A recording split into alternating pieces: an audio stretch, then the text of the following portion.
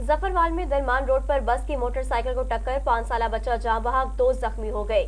जहाँ बाग बच्चे की पहचान जिशान के नाम से हुई। जख्मियों को रेस्क्यू एहलकारों ने टीएचक्यू अस्पताल मुंतकिल कर दिया, जबकि पुलिस ने लाश को तहवील में लेकर कार्रवाई शुरू कर दी है। आपको बताएँ कि अफसोसनाक वाक़ पेश आया है।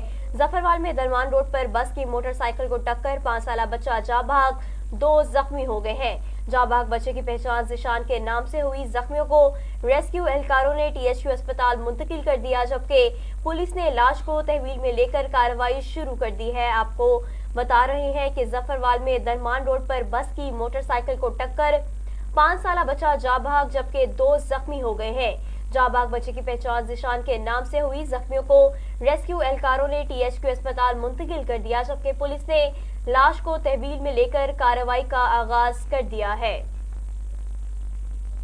आपको बताएँ कि जफरवाल में दरमान रोड पर बस की मोटरसाइकिल को टक्कर हुई है। पाँच साल बच्चा जाबाहक जबकि दो जख्मी हुए हैं।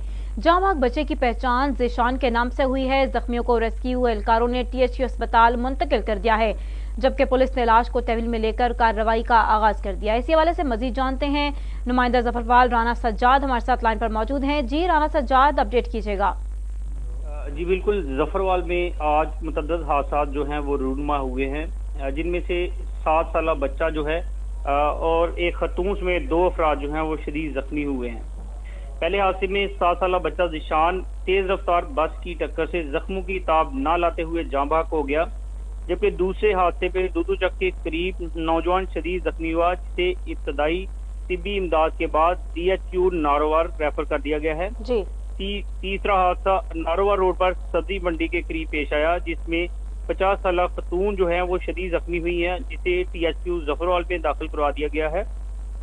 मौजूदा माह फरवरी में हादसा की शरह में इजाफा रिकॉर्ड किया जा रहा है। ज़रूरत इस समझ की है कि अदारों को चाहिए तेज रफ्तार गाड़ियों और कम उम्र ड्राइवरों के खिलाफ कार्रवाई करे ताकि हादसा की शराह कम की जा सके। जी। जी। सजाद बहुत शुक्रिया आप अपडेट कर रहे थे।